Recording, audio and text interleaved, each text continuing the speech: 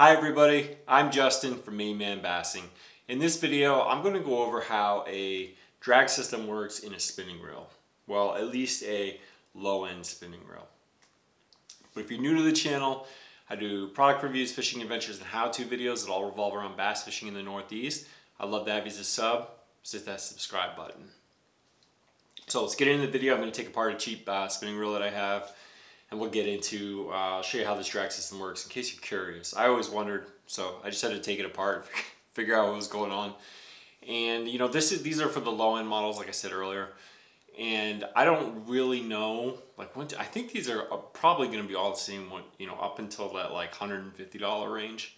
And then after that, it probably, the material probably gets different. It might even be a whole new system. But again, these are going to be for your low end reels. I'm to switch camera angles. We're going to get right into it.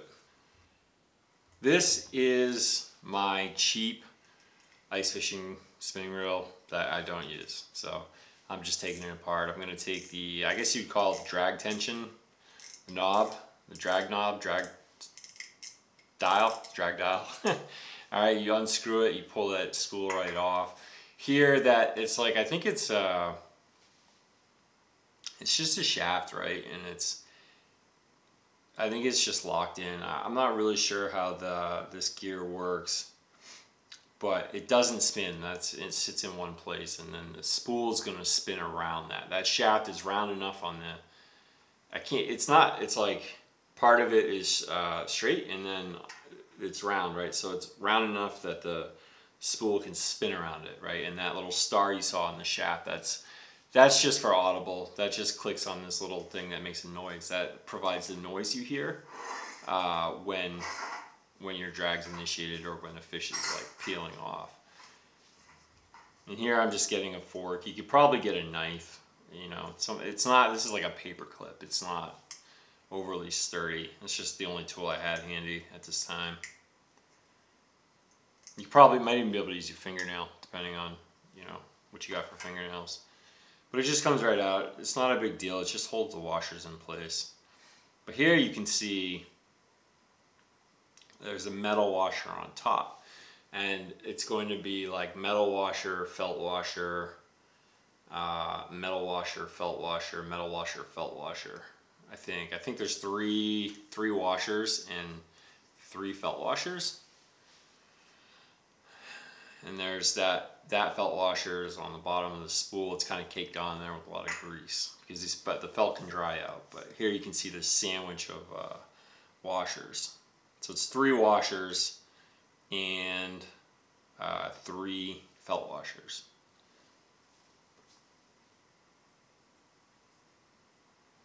Right, and here's a washer with, so I, I don't know, I call them nubs. I don't know what you call them, but they, those nubs actually will sit like in the reel, right? There's a spot for them in the reel. So the reel will catch that washer and that washer will spin. The other washers don't spin. And here, uh, when it gets in focus here, you can see that top washer. The top washer is not going to spin. The reel doesn't catch it, right? So it just sits there. But that one with the nubs is spinning and that's sandwiched between two pieces of felt. So that's going to cause friction, right? You just have that, that, uh, that drag dial will clamp down and it just causes pressure uh,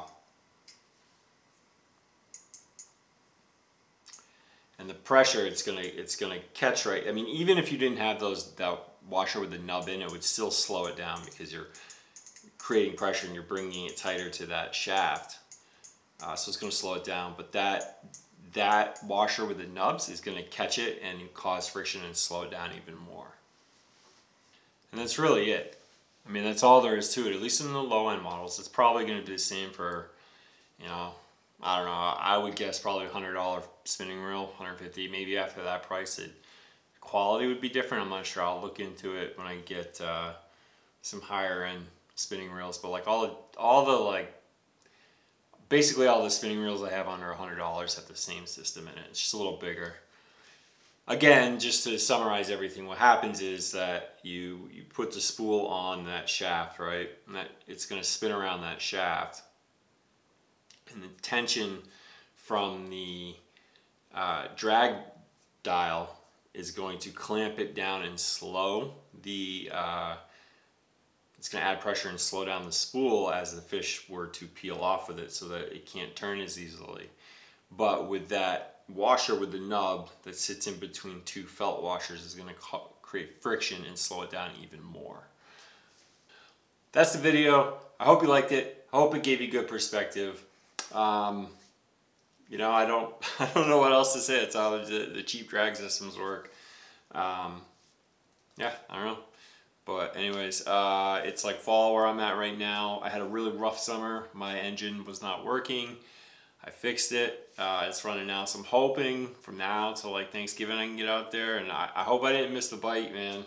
It's uh, it's been kind of slow the last two trips, but um, anyways, I'm, I'm kind of psyched here. I want uh, I want the ice to hit the lakes and uh, so I get out there in my tent. But anyways, wherever you are, I hope you're catching a big bass and I will see you in the next video.